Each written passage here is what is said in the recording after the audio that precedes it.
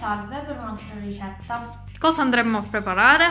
I biscotti. Eh, come? Metà col cacao e metà con le mele. Si può anche scegliere di farle all'arancia, al limone, proprio tutti si può fare, con le gocce di cioccolato. Quindi è un impasto base che poi si può personalizzare secondo eh, io i sto gusti. mettendo comunque sia al posto dell'arancia la scorza del limone. Perfetto, andiamo. Vado a applicare gli ingredienti. Perfetto. 350 g di farina. Con una bustina di lievito, io ne ho messa mezza perché una non l'avevo. Ok. 150 g di zucchero e due uova.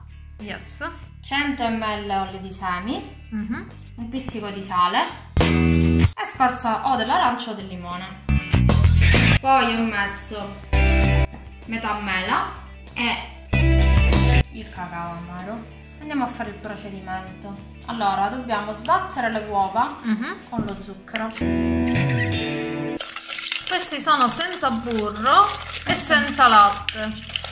Come sempre eh, per le ricette che fa mia sorella, adatte per gli intolleranti al latte e lattosio. E anche per chi, diciamo così, è a dieta e vuole rimanere più leggero mangiando qualcosa di più light. Successivamente andiamo ad aggiungere l'olio Sì. poco per volta.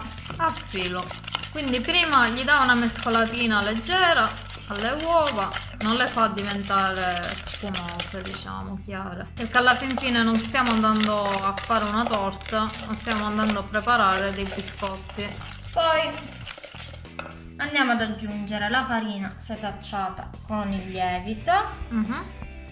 sempre poco per volta andiamo mescolando.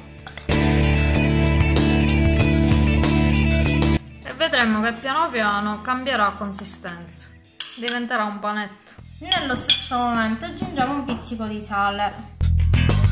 Ovviamente aggiungiamo la scorza del limone. che andrà a profumare. Al posto della scorza del limone puoi utilizzare scorza d'arancia, aroma all'arancia, aroma alla, ah, beh, aroma alla vaniglia oppure l'aroma che preferisci, insomma. Allora, questo è il composto, lo dividiamo Panetto, sì, in lo... metà. ok. Bellissimo. Bellissimo da Benedele fai. Mia sorella ha realizzato una purea frullando semplicemente le mele con un pochino d'acqua. Poi facciamo, come dice sempre mia sorella, un buchetto al centro Ecco, e aggiungiamo la purea. la purea. E lo lavoriamo. Adesso ti attacchi, mettiti là, mettiti là, mettiti qua, che ti cade. Stendiamo la prima metà tra due fogli di cartaforno. Prendiamo una tazzina Sì. O comunque una formira, formina. andiamo a coppare i nostri biscotti.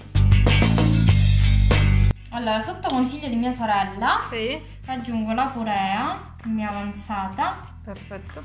e la spalmo di sopra.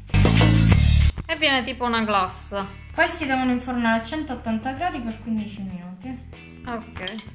Ripiano centrale del forno. E forno preriscaldato. Nell'altra Parte, parte, metà. dell'impasto, Sì. metà, io aggiungo ad occhio con un cucchiaino il cacao. Come li voglio cacaosi,